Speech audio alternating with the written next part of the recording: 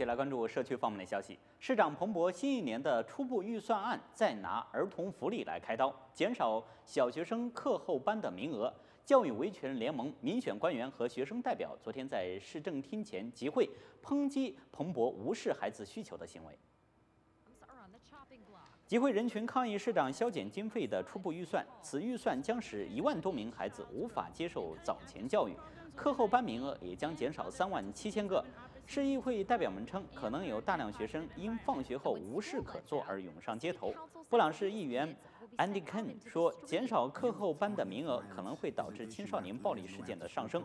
根据教育维权联盟的调查报告显示，纽约市在过去五年之内大量削减课后班的名额，自2008年起到现在降幅已经多达百分之三十五。这还不包括在最新初步预算案中还要削减的数量。虽然市议会去年在最后关头恢复了三万个课后班和六千五百个早教名额，但那些经费也只能维持去年一年。今年也有三万七千名孩子可能会失去课后班的项目，一万名孩子无法享受早教服务。导致一家三口丧命的纽约布鲁克林车祸肇事司机，昨天在宾州向警方自首，结束警方对他肇事逃逸后的追捕行为。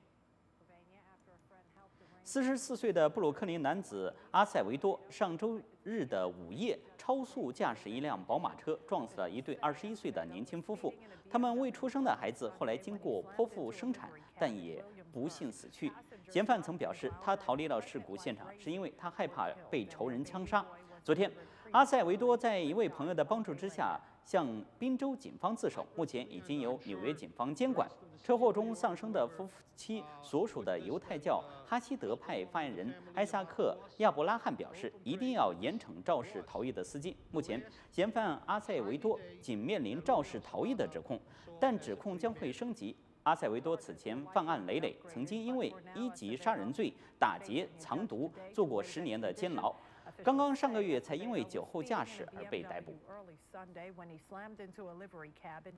全美少数族裔组织联盟七号在纽约举行记者会，介绍了二零一三年第二十七届移民最高奖项爱丽丝岛移民奖的得奖人名单，其中六位是华人。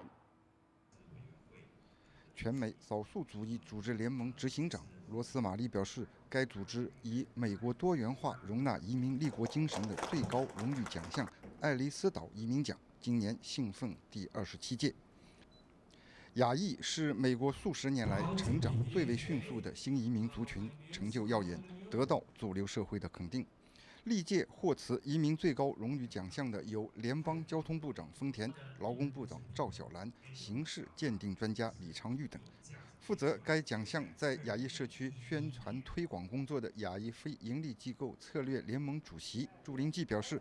该奖除了表彰得奖者在各自领域取得的杰出成就外，同时也彰显了亚裔和华裔移民为美国社会做出的巨大贡献。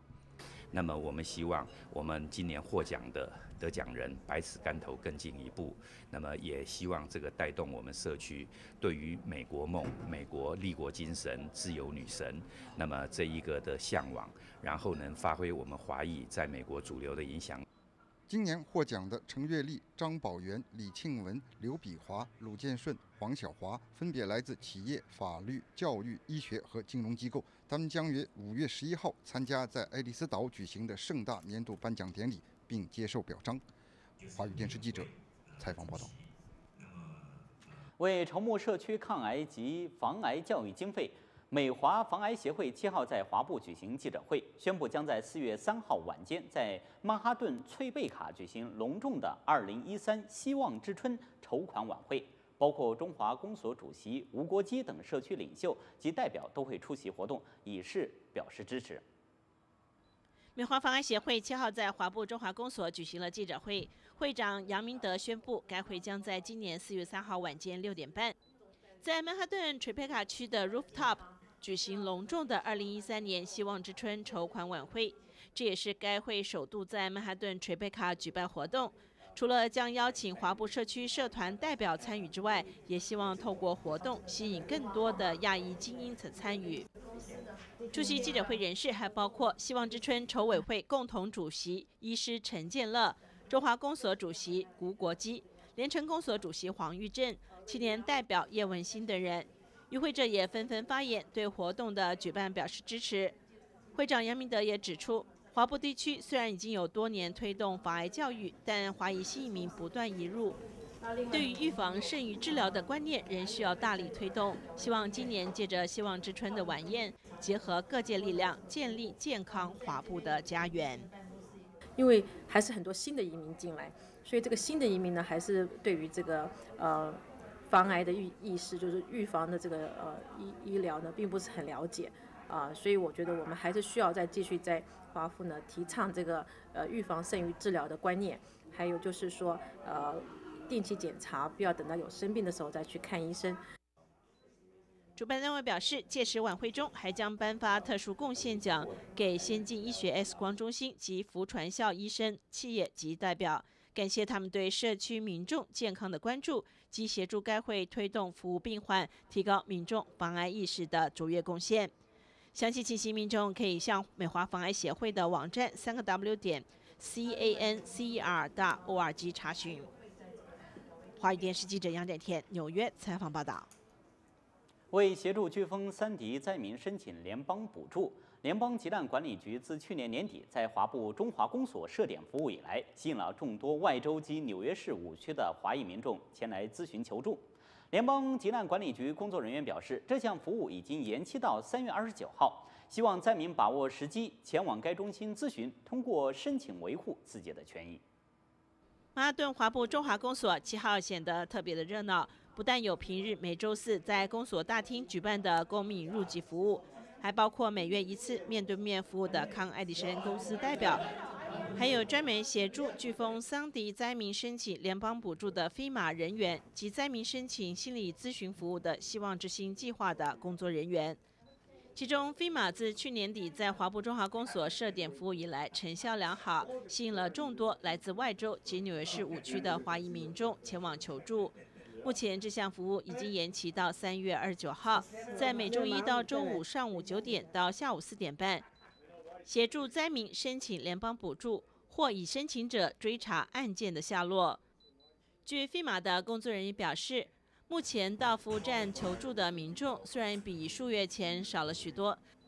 但仍有部分灾民还没有申请。他也呼吁民众要把握时间向该中心询问。同时，对于小商家申请联邦贷款的 SBA 代表，目前在华埠圣詹姆斯街六十号的华埠共同发展机构内服务。此外，已经有多年在中华公所设点服务的康爱迪生电力公司社区代表，七号也在中华公所进行每月第一个周四的例行社区服务，针对低收入耆老减免电费计划的咨询。